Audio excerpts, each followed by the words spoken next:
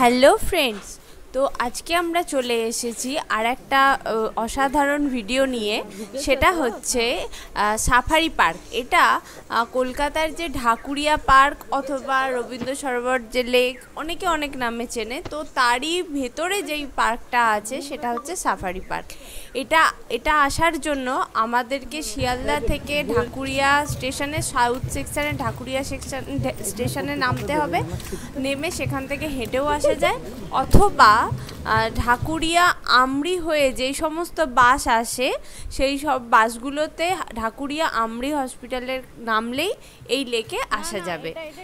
আর সব থেকে ইন্টারেস্টিং হচ্ছে এই লেকে আসতে গেলে কোনো এন্ট্রি ফিস লাগে না একদম ফ্রি আর টাইম হচ্ছে একদম সকাল পাঁচটা থেকে সন্ধ্যা সাতটা অবধি। এখানে আসার জন্য কিন্তু ইউজ অ্যান্ড থ্রো জলের বোতল আনবেন না এখানে অ্যালাউ নেই এবং কোনো খাবারও অ্যালাউ নেই এখানে।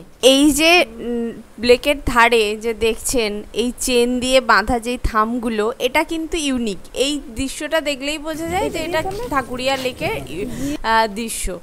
আর এই যে ঢাকুরিয়া লেক, এটা দেখছেন, দেখতেই পাচ্ছেন চারিদিকে সবুজ আর সবুজ। যার জন্য এই পরিবেশটাকে, এই জায়গাটাকে বলা হয় কলকাতার ফুসফুস।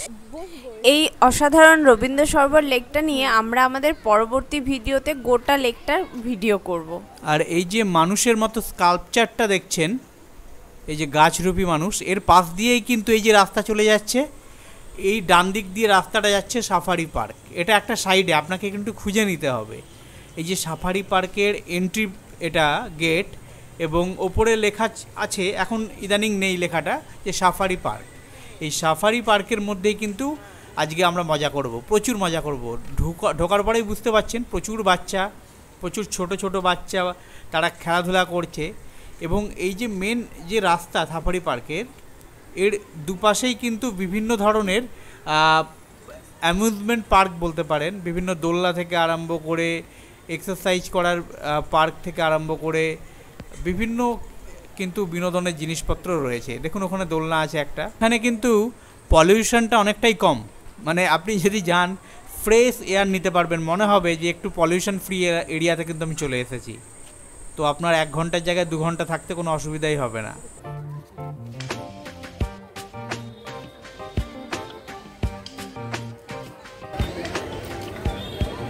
এখানে দেখুন, লেডিসদের এক্সারসাইজ করার জন্য প্রচুর ইনস্ট্রুমেন্টস আছে এবং লেডিসরা এক্সারসাইজও করছে।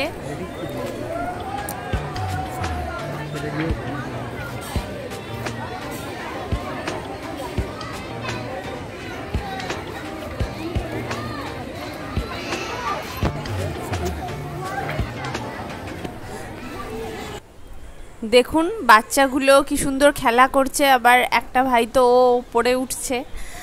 খুব মজা করছে ও উপরে উঠতে উঠতে। ওকে আবার ও, ওপরে তুলছে একজন ওকে গাইড করছে নামার জন্য ওকে গাইড করছে।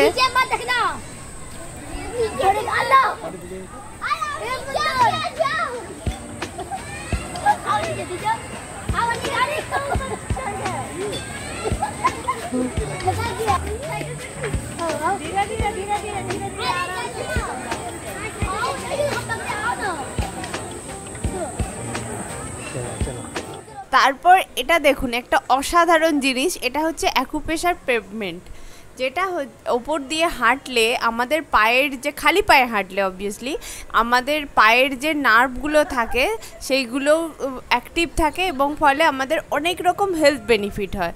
তো আমি তো দেখেই ট্রাই করে দিলাম করতে শুরু করে দিলাম। প্রথমে ডাউট হচ্ছিল যে, কিছুটা হাঁটার পর মনে হচ্ছিল পারব কিনা বাট আলটিমেটলি আমি কমপ্লিট করেছিলাম।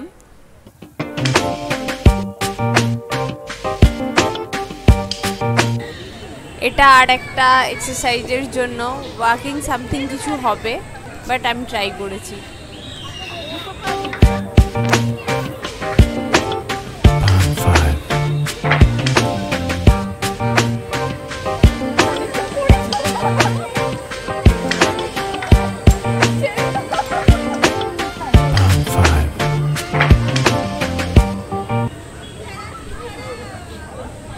ইভেন এখানে ক্যারাটে ক্লাসও হয়।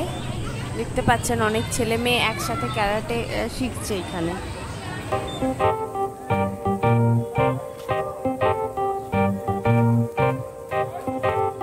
Pond 5. এই লেকে ইভিনিংয়ে আপনার ধরুন অফিসের পরে পরে এসে আপনি আসবেন। তারপরে যখন হাঁটবেন এই লেকের পাশ দিয়ে পুরো লেকে আপনার মনটাও ভালো হয়ে যাবে এবং একটা আলাদা রিফ্রেশমেন্ট কিন্তু পাওয়া যায়।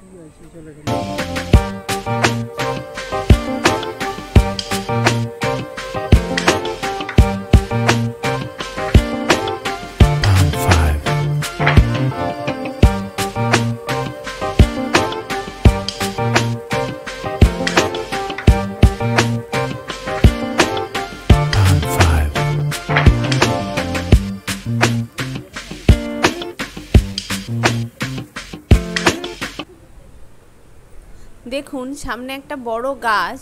হয়তো কোনো ঝড়ে পড়ে গেছে, বাট গাছটাকে কিন্তু ফেলে দেওয়া হয়নি বা কেটে ফেলা হয়নি। Pond 5.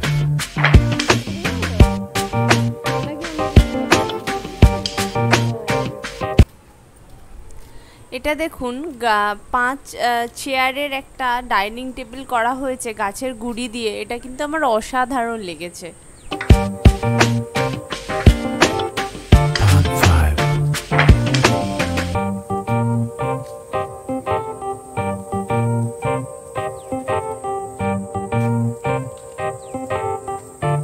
এই সাফারি পার্কটা খোলা থাকে বিকাল চারটে থেকে ছটা পর্যন্ত। লেকটা সারাদিন খোলা বাট এই পার্কটা কিন্তু মাত্র দু ঘণ্টার জন্যই খোলা থাকে।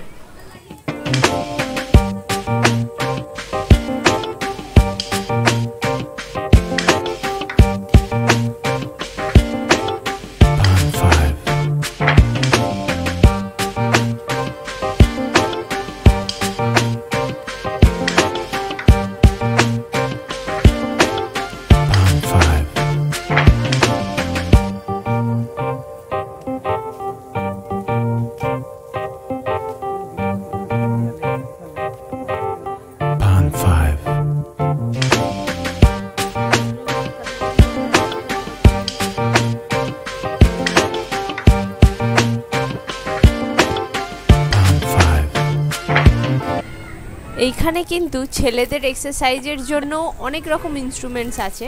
সেগুলো আপনি দেখতে পাবেন। আর দ্বীপের যেহেতু এগুলো রেগুলার প্র্যাকটিস আছে, ও যেহেতু এক্সারসাইজ রেগুলার করে, তো তার জন্য ও ওখানে একটু দেখাতে শুরু করল, একটু ও নিজেও এক্সারসাইজ করতে শুরু করল।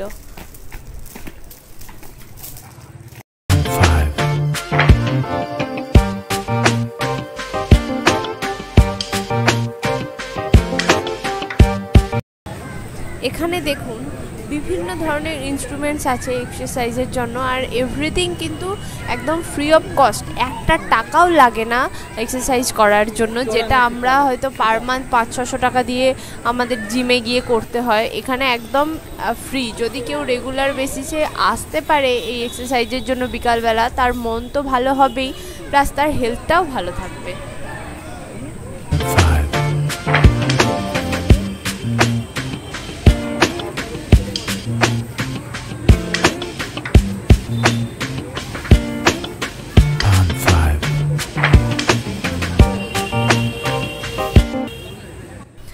দীপকে আমি ফার্স্ট টাইম এটা সামনে থেকে এক্সারসাইজ করতে এইভাবে দেখছিলাম। তো ভালোই লাগছিল। হ্যাঁ ওর ফিটনেস সত্যিই ভালো। আর ও নিজেকে, নিজের হেলথ নিয়ে, নিজেকে নিয়ে সবসময় ভাবে, নিজেকে খুব হেলথ নিয়ে কনসাসও থাকে। আর আমার মনে হয় এটা সবার মধ্যেই থাকা দরকার। নিজেকে নিয়ে ভাবা, নিজের হেলথকে নিয়ে ভাবা। আলটিমেটলি নিজের কথা, নিজে ভালো থাকলে সবাইকে ভালো রাখা যায়।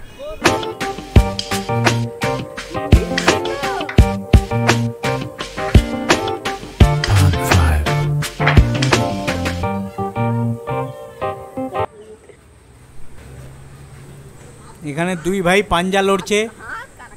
এই হেরে গেল একজন একজন জিতে গেল। হবে হবে হবে আরও জোরে। এই তো এই তো এই তো। কিন্তু অবশেষে এক ভাই হেরে গেল। আর এই পার্কটা বড়দের জন্য তো এক্সারসাইজ আছেই। প্লাস বাচ্চাদের জন্য অসাধারণ একটা পার্ক যেখানে ওরা খেলতে পারে এক্সারসাইজ করতে পারে। আপনি আগে দেখতে পাবেন, সব রকম ট্রেনিংও এখানে কিন্তু দেওয়া হয়। আর এটা দেখুন সিনিয়র সিটিজেনদের জন্য বসার জায়গা করা আছে। তো ওনারা আসতে, এসে বসে আড্ডা দিতে পারেন, কথা বলতে পারেন। এটা ঢুকবেন?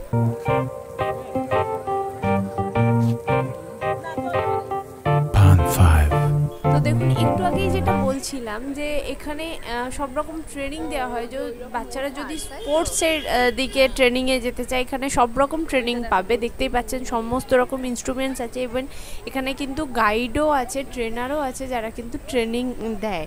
তো অসাধারণ। মানে এখানে কাছাকাছি থাকলে, এখানে আসলে কিন্তু বড়দের সাথে সাথে বাচ্চারাও ফিট থাকতে পারে এবং তাদের রেগুলার প্র্যাকটিস এক্সারসাইজ হয়ে যায়। আরও দেখুন, এখানে বাচ্চারা দোল খাচ্ছে, মজাও করতে পারছে। যেমন এক্সারসাইজও করা যায়, তেমন এখানে কিন্তু মজাও করা যায়। এখন তো বাচ্চারা খেলতে পায় না। এদের, বাচ্চাদের মধ্যে এটা বড় ল্যাকিং হয়ে গেছে। বাট এই পার্কটা কিন্তু ওপেন ফর অল বাচ্চা থেকে মানে বলে না, আট থেকে আসি সবার জন্য আছে। তো এরপরে আমরা বেরিয়ে যাচ্ছি সাফারি পার্ক থেকে। আমরা লেকের দিকে যাচ্ছি।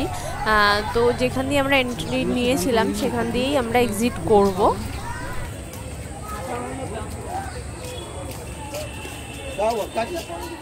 এটা হচ্ছে লেকের ইভিনিং ভিউ তো এটা দেখে ইচ্ছাই যাচ্ছে তো লেকের ওভারঅল ভিউটা দেখতে। তো তার জন্য আসছে আমাদের নেক্সট ভিডিও যেটা হচ্ছে ওভারঅল লেকটার একটা পুরো ভিডিও তো তার জন্য please wait and thank you for watching